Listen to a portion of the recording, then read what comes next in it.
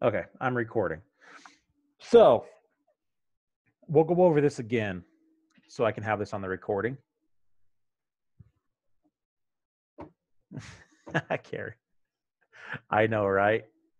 Curses should have been recording an hour ago. Um, so this is my play. I am going to say, I'm just going to gamble and say if Amazon gaps, and not only gaps, but gaps big, gaps above 3240, I am going to make nearly $900, $847. If it fails to do so, so if it only gaps to here, or if it gaps to here and then fades down, or if we gap down, I'm going to lose 130 bucks. So that's my setup and that's my play for Amazon. At least my computer's working today. Isn't that the truth? It's the small things that we become grateful for. um, for me, I'm not going to set this up because the lower the price goes, the more premium I'll get. So if tomorrow we go down, there's a chance I'll only risk max loss of like 60 bucks and still make just as much or more. So that's kind of my game plan. It relies upon the odds of winning are low, but if we do win, we're going to win big. If we lose, we'll lose very small. The more out of the money you go, let's say 3,300, the you list, the more. Yep, exactly, Justin. So if you went to 3,300, we can pull that up real quick right now. So if we sold put at 3,300,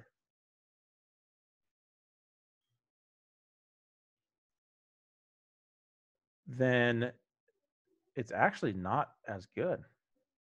It's basically, oh, there we go. There it is. It just didn't update. Um, so basically, this is your odds. You're going to now risk $95. Depends on where you get filled. You could risk as low as 60 bucks and still have a chance to make $900 if you're right, but that has to gap above 3,300. So I'm kind of planning on it. The reason why I'm not selling one down here and planning on a gap down because a gap down is is decently likely because it has to close below this, right? Most likely, if we get a gap down, especially kind of into here, we fade. And which means I'm not going to win, even though I was correct on the direction of the gap. So if I had to sell one, it would have to be here because that way, if we gap down, it would fade back into here and have a chance of winning. And I would exit as early as I could in the morning if we gap down because knowing we're going to fade. In fact, no matter what, if we gap up tomorrow or the next day after earnings, then it's probably still going to fade some. So I'm just going to exit as soon as I possibly can and see if I can get filled um, in the morning IV kind of pop before it crushes. So the nice thing about instead of buying an option on Amazon, let's take a look at how much options uh, one call option would cost on Amazon right now to do this for this Friday. Okay, so if we're going to do the 3240 call, it's going to cost you, oh man, you ready for this one? $2,600 to do one. And guess what happens if it doesn't gap above it? You're going to lose all of the premium. The, the implied volatility, the volatility crush is just going to destroy the value of this option. Going to destroy it. So at the at vice vice versa. The other hand, this has no upside cap, right? So if you did gap to 3,300, you know, instead of making $900, you're making, you're up 11,000 or 9,000, kind of depending on the volatility crush that you get because it's going to, it's going to hurt unless you're deep, deep in the money. So you need a big gap.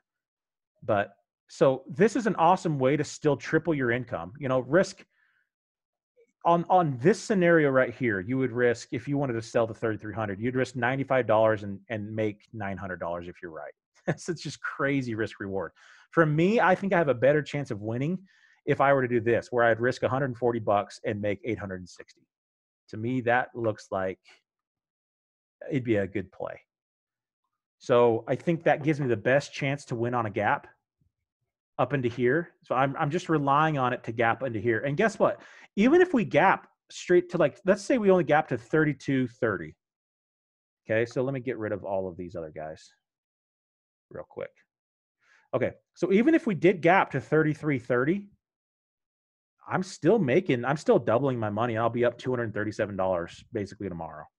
All right, so you're still there's still a great chance to make money, even if it doesn't gap all the way. Um, but of course, you have a chance to make 900 or 847 if it can get above your strike. So really, as long as it doesn't gap down, you can at least get out for break even or make something on it. And that's with just one contract. So the lower it heads, it, the better this ratio is going to be. The less I'll, I'll have to risk and the more I have the potential to make. So that's my play right now on Amazon. And we can see if this feels, we can see what this does. Again, this is just gambling on the market because I'm guessing which way it's going to go, up or down. But I just have a hmm. hunch that Amazon will gap up. And if Amazon gaps up, it might gap up big. So like 3280, 3250, somewhere in that ballpark.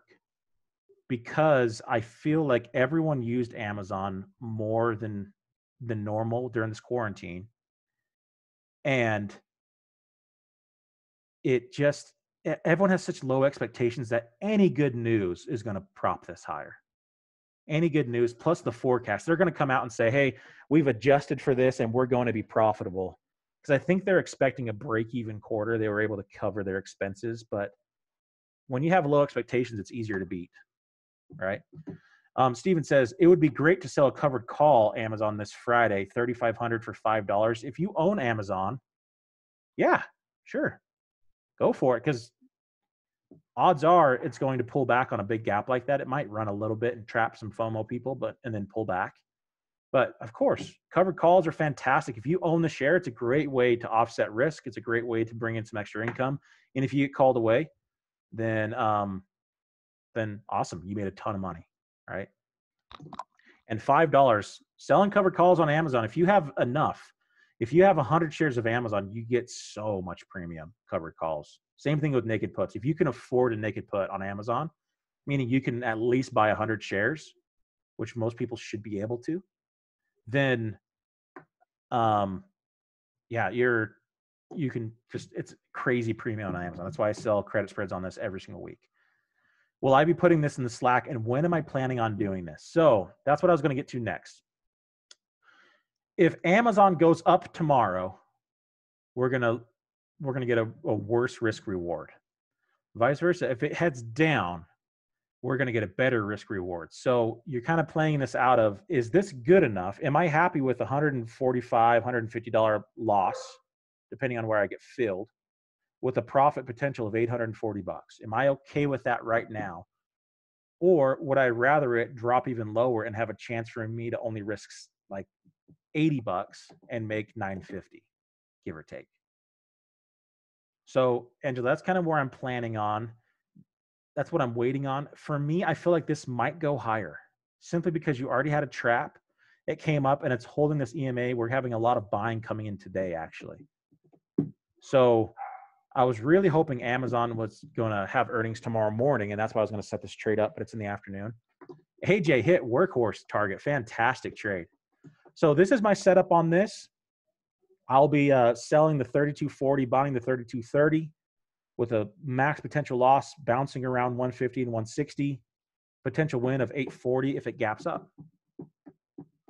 Easy money, right? Easy, easy money. Fantastic risk reward, but we're just basically going off of it needs the gap and it needs the gap big. And if it does gap big, then we will hit the hit the money hole on that one. So let's take a look at workhorse real quick. We got about 30 minutes left onto this guy. Um,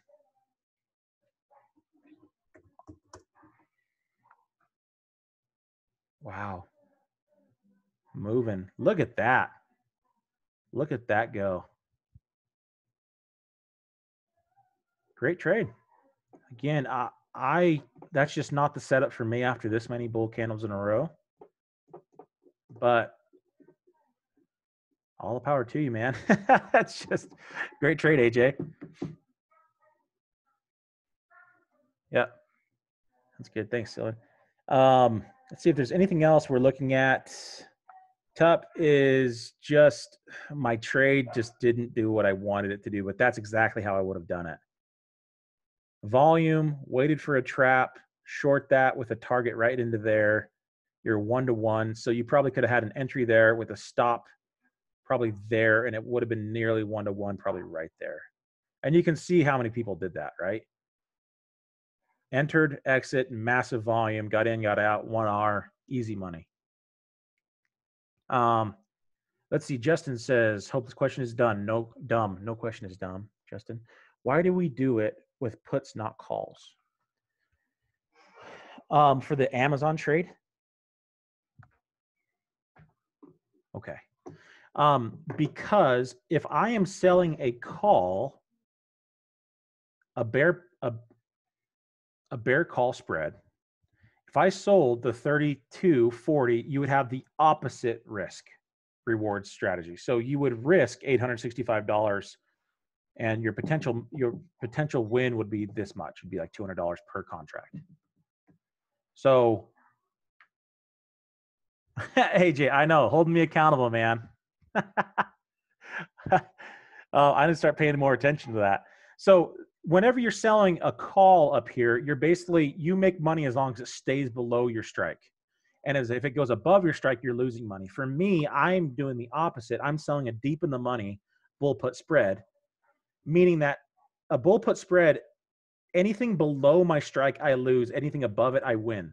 So what I'm doing is I'm offsetting the risk with a big reward because the odds of it gapping and staying above this line are not super huge, right? There's 15% chance that it'll do that. That's why I'm only risking 150 bucks. But if I'm right, I'll make nearly $900 depending on what I get filled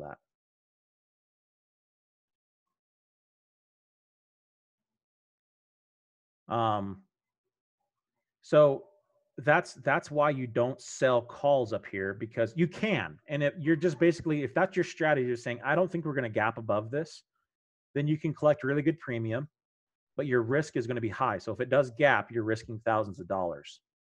Um, on the other hand what i'm doing is i'm just doing the opposite. I'm selling a deep in the money bull put saying that anything below this i lose but i'm only going to lose 150 bucks. But anything above this if there's a chance and i'm just going off my gut feeling i have no idea if this thing's going to go up or down I think that because Amazon was so highly used during the shutdown, I think they're going to give out better numbers than expected and shoot this thing higher. I mean, possibly 33, 45, somewhere up into this range. And if again, if it only gaps to here, we're still going to make some money on it. Well, I might make a hundred bucks on it. I might, might double my risk, right? There's a one hour trade, easy, easy one hour trade if it gets any type of gap up.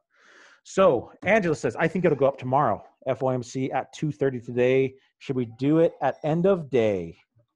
Um, I have sold these on, you know, they've had earnings on Thursday. I've sold them on Monday because the premium just fit what I wanted. So,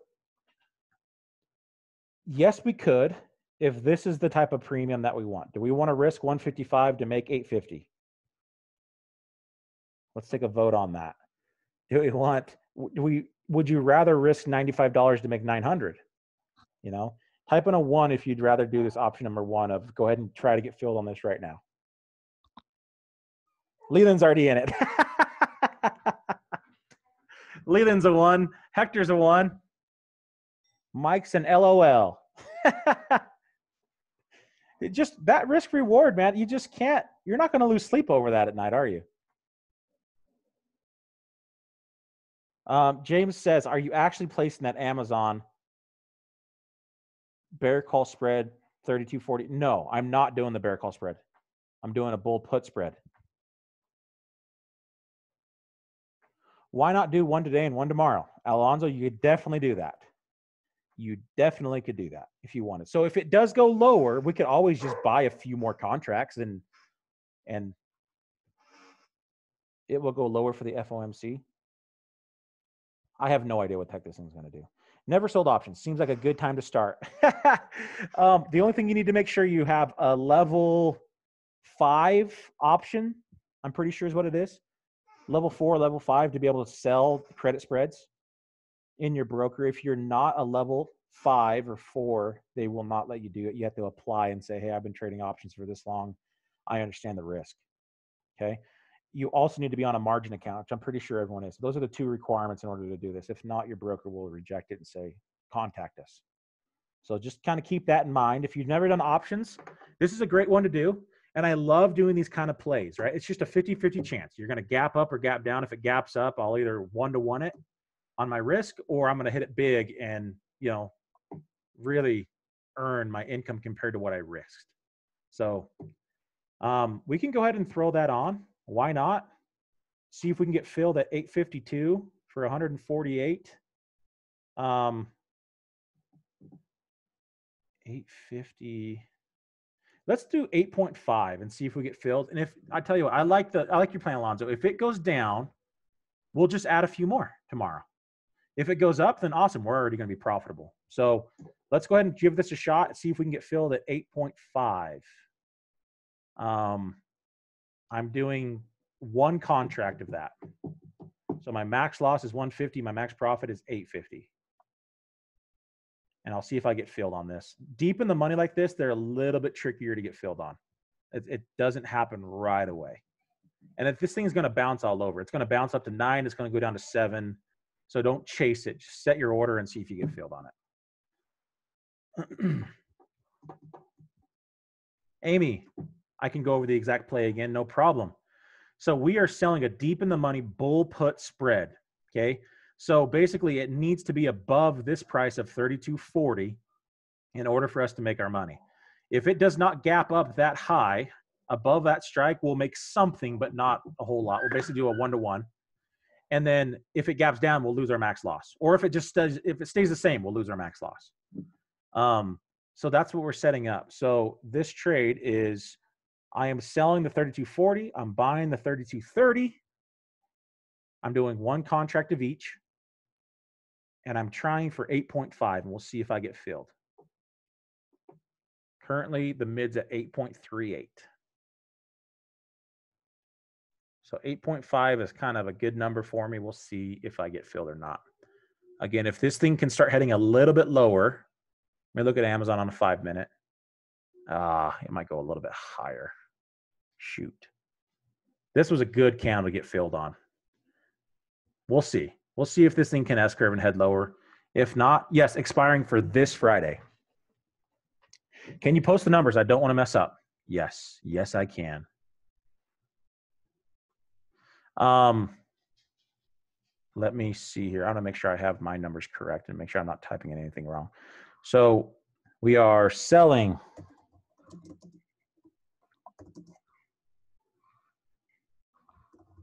forty we are buying the 3230. I should probably put put on this. Expiration 731 with an 8.5 limit. And if you, again, with credit spreads, I'm not picky on certain limits. So if you want to put it at 8.45 or 8.55 or 8.6, it's not like day trading where you really want to keep your targets the same. Credit spreads are not quite as liquid. So you got 8.3. Okay. So you might not get filled at certain things, but you, you can bounce it around and, and see if you get filled. There's nothing wrong with that. We're talking about the difference of 10 to 15, 20 bucks. It's not the end of the world. For July 31st, correct. This Friday, expiration and you were selling, again, you're selling puts, right? Selling the 3240 put. We are buying the 3232, the 3230 put. I don't know why that got all spaced out. I have no idea what's going on with that. Sorry about that.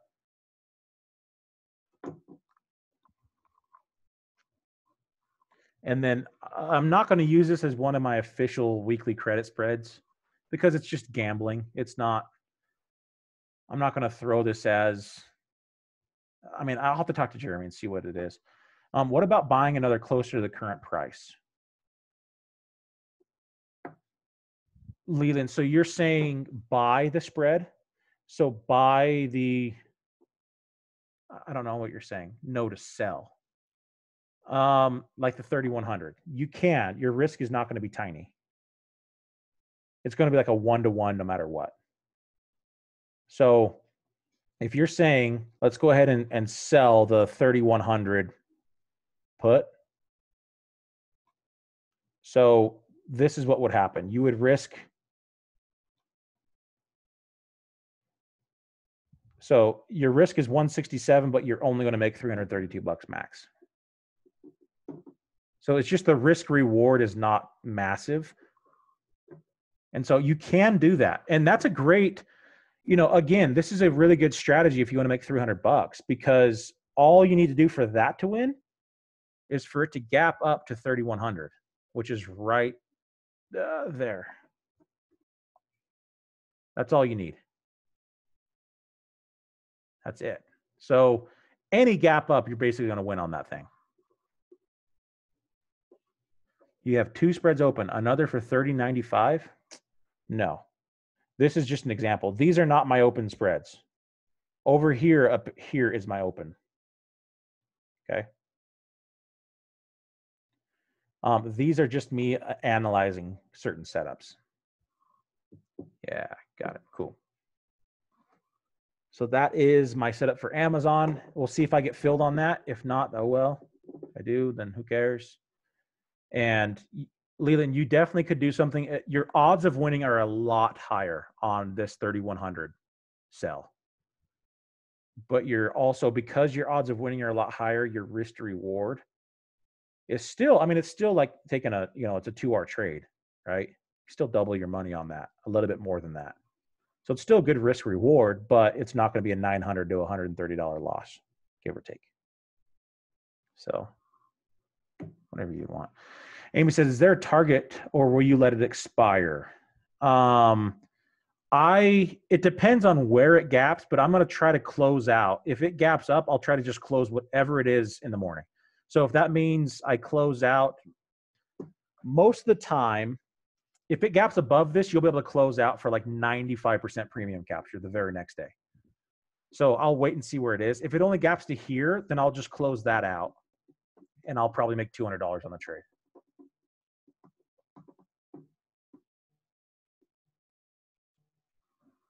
Um, let's see here. Alonzo, you said uh, you like the 3240, 3230 bull put spread.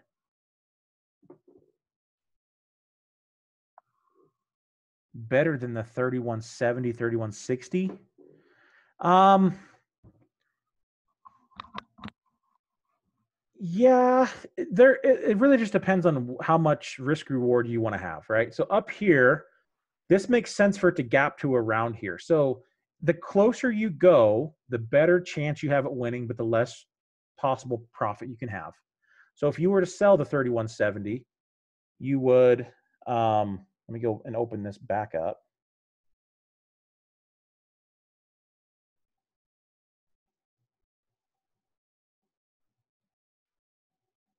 Okay, so if you were, let's compare apple to apple, so just one. So you see what I'm saying? So you're risking $230 and making 767 or 760, somewhere in that ballpark. So for me, I would rather cut my risk in half. Let me see what, let's see, we said 3170. Even though this has a greater chance of winning because you don't need a big, uh, as big of a gap, I kind of think I'm planning on a big gap on Amazon, and even if it only gaps to here, I'll make my hundred bucks and get out. So it's just a better risk reward. So there's no wrong, no right and no wrong. You could sell it, you know, like you said, like Leland said, you could sell a 3100 and make, you know, you're still going to double your money if you're right and your chances of winning are better. Um, you could sell the 3170. It just depends on whatever risk profile you're wanting to have. So you're filled at 8.45, Amy.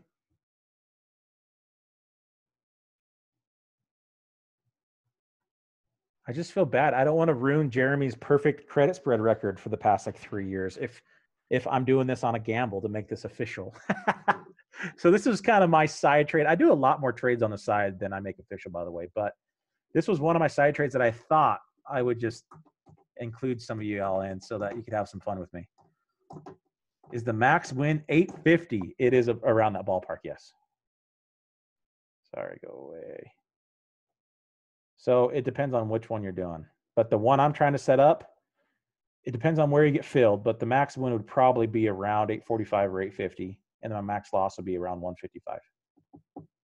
So it looks like everyone's kind of getting filled at this price instead of 850. For some reason, 850 is being stingy. So what's the difference here? If I were, were to change this to 845, so that's $150 or 100 it's a $5 difference. so maybe I should just let's try 845 if someone just got filled there, let's see if that'll work. Filled right oh. away. See how dumb sometimes things are? 850 like no way, not touching it. 845 is filling if anyone wants to get filled on that. 850, no way, not going to happen. 845, guaranteed all day. So again, our max loss, okay, so I'm already in this spread. My max loss is $155 and my max win is 845 bucks. Let's see what happens. Fun, right? Yeah, that's a worst case scenario. Worst case scenario, it could go to zero. I'm losing 155 bucks. Cool. We're in on this thing. I'll talk to Jeremy if I need to make this official or not. But if this is your first credit spread you've ever done, how fun. It's just a gamble. you have 50 percent chance of being right. Either it's just going to be Mike, that's awesome, man. What a fun spread. If you win on this, pocket your $800. Woo. Man. And if you had money that you just didn't care about and you did wrist 870 you're like man i could just i could care less you're looking at a $5000 profit if it goes now again better odds than vegas exactly for me i don't do that on a 50-50 i think that's just foolish for me i don't care to give up $900 on a 50-50 bet i just usually stick to one contract because that's good enough for me i'm not that greedy right $150 i could i, I don't care I, I lose $150 all the time day trading. It doesn't bother me. So I try to stick around 1R. If you can do a 1R trade, like, look, I have a chance for a 3 or 4R trade. Take it. Yeah, 8, 845 was the magic number. and again, our game plan tomorrow, if this thing heads lower, let's buy one more contract because it'll probably add like 30 or 40 bucks of risk, right? It's not going to be that much. Or you can just leave it. Who cares? But it'd be even better if we can get a push up into here because then this gap is that much easier if it gaps up. The lower it goes, the bigger the gap has to be to get up above this level. And to me, it just makes sense. If Amazon's going to gap, if they crush it, they're going to be above this level because they did it before, right? They did it before. Where was that good one? Right there. Boom. Look at this gap on Amazon on earnings. Bam way above the resistance, massive gap. And that's kind of what I'm hoping. And guess what? If it doesn't, who cares? 150 bucks. Who cares? Hector, 845 no fill. 844 filled for sure. Yep, that's that's the key. A, a one dollar difference on your hundred contracts. On your hundred shares, I mean, or whatever, for one contract. Right on, guys. We're in this together. We'll wake up. It's going to be really hard to, uh, you know, when the market's over, over with tomorrow, we're going to be like, oh my gosh, he's staring at the screens and seeing which way the candles go. It's kind of fun. I remember I was in the movie theaters last year doing this, and I go, all right, well, earnings should be out. Now I pull up my phone real quick in the movie theaters, which I know probably didn't make everyone super happy. But then I was they were even more mad at me when I was like, yes, because I just made $900 for no reason at all because I guessed. so it's fun. If you don't mind throwing some in. Um, Angela says, You're in. However, why did IB say I was buying a combo? Everything is right. I'm confident of that, but but it was a, a buy limit. Correct. We're using a limit buy on this. You're buying a combination because you're buying a long and a short at the exact same time the vertical, the combination. So if I was if I were to unfold my spread, I have a long and a short that they filled me at the exact same time. So that's why it's called a combo.